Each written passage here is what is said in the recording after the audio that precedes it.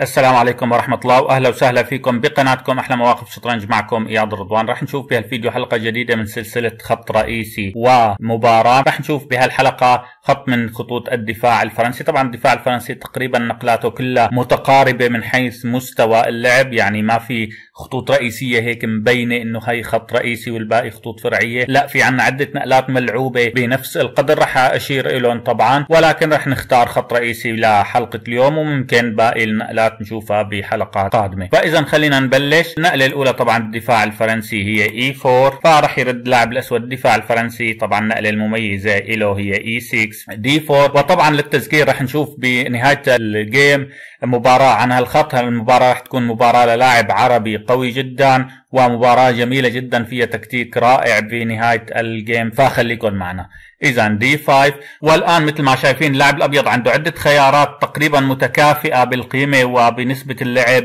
ممكن ال e5 يكون خيار. وال knight على ال c3 خيار وال knight على ال d2 خيار. ممكن نشوفهم بعدين ولكن هون رح نشوف نقلة ال knight على ال C3 فايضا رح يرد اللاعب الأسود بال bishop على ال B4 طبعا أيضا ممكن يكون نقلة الحصان أيضا خيار يوازي خيار الفيل ونقلة قوية. فاذا خلينا نشوف الآن نقلة ال bishop. فهون رح يرد اللاعب الأبيض تقريبا النقلة الوحيدة E4 طبعا في خيار التكسير ولكن ما كتير مشهور.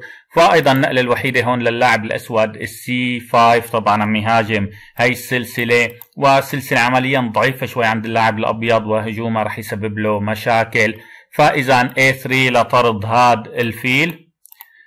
طبعا الخيار الأفضل هون إنه ياكل يعني خيار التراجع خيار سيء جدا لأنه فورا رح يطلع بالبيدق وسواء أكل الجندي بي أو أكل الجندي دي آه نفس الشيء لأنه الحصان رح يجي على ال B5 وطبعا الحصان رح يتوجه على الخانة الضعيفة جدا D6 بمعسكر الأسود وهون رح يمارس يعني كتير ضغط على البيدق مثلا على الفيل على البيدق الضعيف F7 فيعني خانة رح تكون مزعجة جدا فالأسود ما بده كل هالخيارات وهون رح يفضل إنه ياخذ فهذا الخط الرئيسي. فالآن B take C3 والآن في عندنا خيارين أيضا رئيسيين. هن ال knight على ال E7 e وال queen على ال C7 رح نشوف الآن خيار ال knight على ال E7 e فايضا عند الأبيض خيارين رئيسيين. إذا بده يلعب بهداوة بده يلعب على مضمون ولعب هادي فراح يختار ال knight F3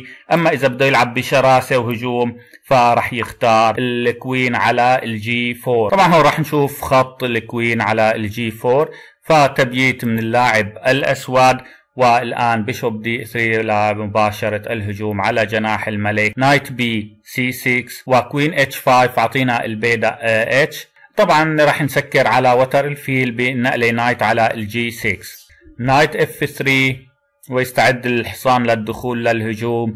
ف queen C7 bishop E3 C4 وطبعا بالدفاع الفرنسي هي النقلة C4 مزعجة جدا لهذا الفيل لأنه غالبا يعني هذا الوتر رح يكون كله مسكر. ولكن بهذا الخط في عنا حصان هون ممكن يتكسر ونخلص من مشكلة هالفيل فرح يتكسر.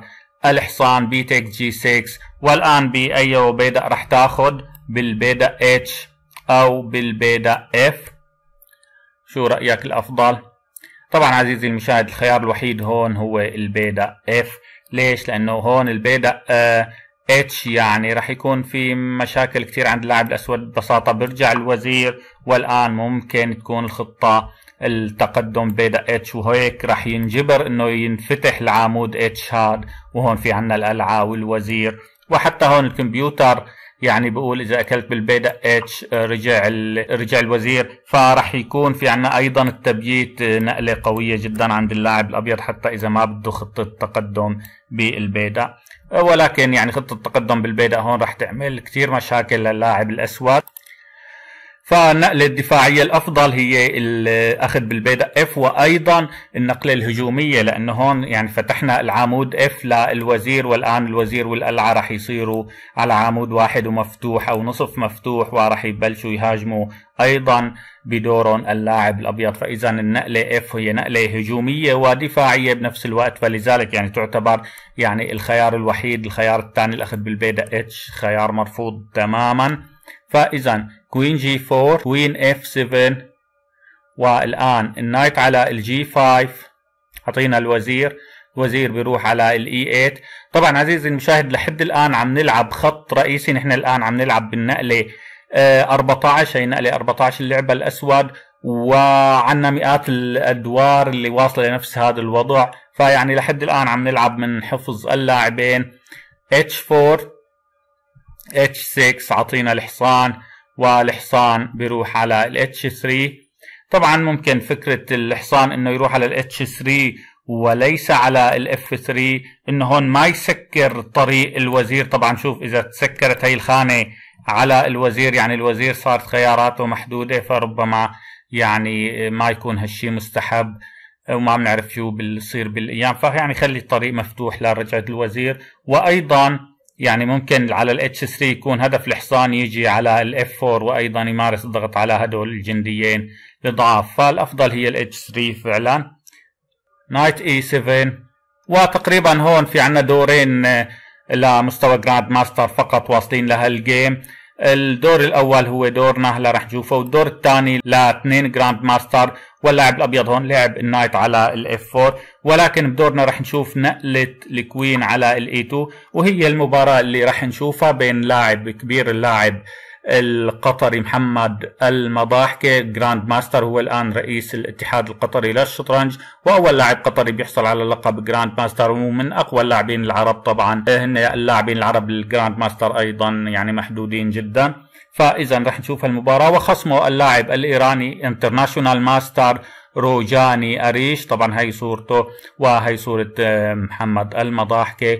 وطبعا تصنيفهم كان 2346 اللاعب الأسود و2577 طبعا grand master اللاعب الأبيض. فإذا خلينا نشوف كيف كفى الدور. فإذا بعد نقلة الوزير bishop على ال D7 للاعب الأسود. والآن طبعا اللاعب الأبيض رح يبلش ويتابع بهجومه على الملك. فراح لعب G4 queen F7 H 5 queen F 3 وبيعرض تكسير الوزراء. طبعا اللاعب الأبيض آه، محمد مضاحكي بيقول له okay. queen takes F 3 rook takes F 3 و king E 2 أعطينا القلعه والقلعه بترجع على ال F 8 طبعا هلا النقلة المنطقية إنه تيجي القلعه الثاني لحتى تحمي القلعه ولكن الحقيقة اللاعب الأسود فكر يعني شو بدهم يعملوا القلعتين على هذا العمود. يعني هذا جندي مدعم بشكل جيد جدا. وهذا العمود يعني ما في أي مربع يعني تقدر تستفيد منه. فيعني تضييع وقت وضع القلعتين على هذا العمود.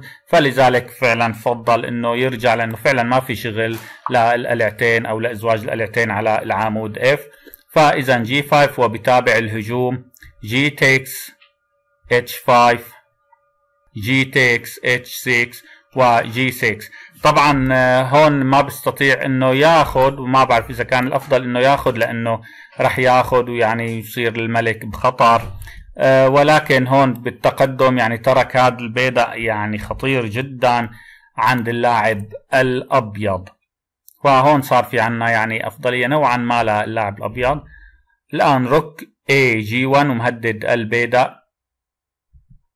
فما بعرف شو هون خطر على بال اللاعب الاسود ولعب ال rook على ال F 5 طبعا هي نقلة عطت أفضلية كبيرة جدا للاعب الأبيض. هلأ رح نشوف كيف ففعلا اللاعب الأبيض بيستغلها بكل ذكاء وبكل احترافية bishop على ال G 5 أعطينا الحصان. طبعا الحصان وين بده يروح؟ يعني ما عنده مربع جيد فبيروح على C 6 وال C 6 يعني شوف أيضا الحصان صار بعيد كتير عن اللعبة. وما في له أي مربع جيد فهون مضروب بالجندي حتى لو إجا لهون مثلا ما راح يستطيع إنه يخترق بسبب وجود هالجندي. فيعني بده يروح مثلا على ال D 8 لحتى يحاول يرجع على اللعبة من خلال المربع F 7 يعني الحصان عمليا صار خارج اللعبة. knight F 4 اعطينا الجندي G 6 فراح يحمي بالملك king H 7 ولكن الحقيقة ما حماه لأنه اللاعب الأبيض لقى تكتيك جميل جدا جدا. وهون إذا بدك توقف الفيديو وقف الفيديو. طبعا أنا لمحت لك انه ما حماه يعني خلص آه، راح يضحي اللاعب الأبيض بالحصان. طبعا اللاعب الأسود عمليا ما في ياخذ الحصان. ليش؟ هلا وقف فيديو وفكر ليش. لأنه أكيد رح يشيل مع كشبي الكشف بالقلعه مثل ما أنك شايف. والملك مثل ما أنك ملاحظ هون ممنوع يجي هون ممنوع يجي فعنده خيارين فقط. هن ال H7 أو ال F7 وعلى الحالتين لوين ما راح راح يكون في عنا كش وراح يجي لهون وراح ياخذ الفيل ويسترجع قطعته مع وجود قلعة على الصف السابع وجندي يعني خطير جدا. راح يكون في عنا مكسب. طبعا أكيد إذا جيت لهون وأنت مفكر إنه إذا اجى كش ممكن يرجع لهون يحمي الفيل ف آه، فهي مشكلة لأنه ممكن يتقدم بالبيدق مثلا ويكون الوضع سيء جدا. فنرجع إذا فلذلك هون بعد ما أخذ الجندي بالحصان اللاعب الأسود طبعا شاف التكتيك وقرر إنه خلص يعني أكيد غلط أكل الحصان فراح لعب روك جي 8 على أمل إنه يعني ناخذ الحصان بالقلعه وإذا شال الحصان ممكن بعده ناخذ الفيل لأنه هذا الفيل أيضا راح يصير مهدد بالقلعتين معا وهو محمي بالقلعه فقط. ولكن الحقيقة أيضا نقلة ذكية من اللاعب الأبيض bishop E 3 وقال له خذ الحصان إذا بتقدر. طبعا اللاعب الأسود نفس التكتيك تماما ما راح يقدر ياخذ الحصان. ليش؟ إنه إذا أخذ الحصان ببساطة راح ياخذ القلعه وإذا أخذ القلعه راح يجي كيش من القلعه من ال G 1 ونشوف يعني رجع نفس التكتيك بده يرجع الملك على ال H 7 القلعه على ال G 7 وكيش واعطينا الفيل ومكسب للاعب الأبيض. فبعد نقلة bishop E 3 أيضا ما استطاع اللاعب الأسود بهالحالة إنه ياخذ الحصان فلعب ال bishop على ال E 8 ومهدد الحصان. فالآن نقلة نايت اتش 4 ممكن الكمبيوتر بيقول إنه النقله knight F4 هي الأفضل ولكن أيضا ما زالت الأفضلية رابحة بال knight H4 rook F F8 knight F3 rook takes G و rook takes G والان يعني عنا تهديد بال rook على ال G 1 وعنا أفضلية هذا البيدق يعني خطير جدا ومحمي ومدعم بشكل جيد يعني الحصان كتير قريب والفيل حامي والقلعه يعني داعمته بشكل جيد فالوضع سيء جدا جدا عند اللاعب الأسود. فلذلك اللاعب الأسود هون لقى نقلة يعني خبيثة شوي نقلة ماكرة. آه نقلة غريبة. شو هي النقلة اللي لعبها لعب rook takes knight. نقلة جميلة جدا ولكن ما توفق فيها. طبعا شو فكرته؟ فكرته أيضا مثل ما حكينا فكرة ذكية إنه إذا أخذت أنت القلعه مثلا راح يجي بال bishop على ال G 6 وهيك راح يسكر الوضع تماما. مثل ما شايف يعني فيلين متعاكسين وفيل اللاعب الأبيض هذا يعني مسكر كل الطرق أمامه وبالتالي صعب جدا على اللاعب الأبيض إنه يخترق. حتى إذا بده يروح على العامود ممكن يتقدموا البيادق ويكونوا على الأبيض وحامين بعضهم ويسكروا له العامود B. والحصان ممكن يدعمهم أيضا. والملك ممكن يتولى تسكير العامود إف. فيعني راح يتسكر الوضع تماما. واللاعب الأبيض صعب جدا جدا إنه يلاقي طريقة يخترق فيها بهذا الموقف. ولكن هون اللاعب محمد مضاحكي طبعا ما مرقت عليه الخدعة وقال قبل ما آخذ القلعة خلينا نعمل الاختراقة بالأول rook G 7 كيش. طبعا الملك إجباري على الجي والآن بناخذ القلعة. وطبعا الآن القلعة اللاعب الأبيض اخترقت موقف اللاعب الأسود و آه، تقريبا كل شيء انتهى فهون استسلم اللاعب. الأسود. فمثل ما شايف دور جميل جدا يعني دور فيه تكتيك رائع وافتتاح نظامي لحد النقله 16 فإن شاء الله يكون عجبكم الفيديو لليوم. نلتقي مجددا بإذن الله. والسلام عليكم ورحمة الله.